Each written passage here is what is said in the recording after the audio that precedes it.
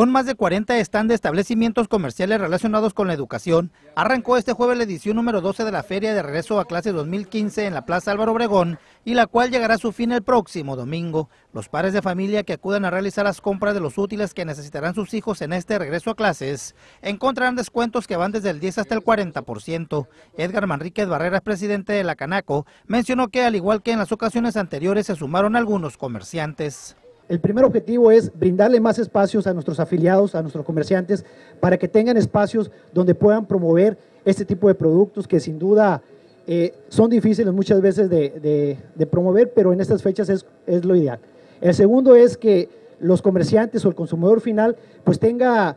un ahorro, tenga un crecimiento eh, en cuanto a su ahorro y pueda disponer de productos de excelente calidad y de excelentes precios para que los pueda llevar a su familia. Igualmente, Rolando Gutiérrez, coronado delegado de la Profeco en Sonora, formuló el llamado a la población para que con sus compras y el beneficio correspondiente apoyen este tipo de eventos. Nos da mucho gusto volver aquí a Ciudad Obregón, como les decía, mi casa, y que nos acompañe tanta gente. Vamos a aprovechar para invitar a todos los padres de familia a que se, a que se acerquen aquí a la plaza, porque al igual que lo hicimos ahí en Hermosillo, en Hermosillo es la 20 edición de esta feria. De la misma manera, el presidente Rogelio Díaz Brown, ante los invitados especiales ahí presentes, destacó que todos los ahorros que vengan a beneficiar a las familias son bien recibidos, así como el esfuerzo que realizan los propietarios de los establecimientos para ello. Hoy estamos invitando y se está armando esto para que los mismos comerciantes de aquí salgan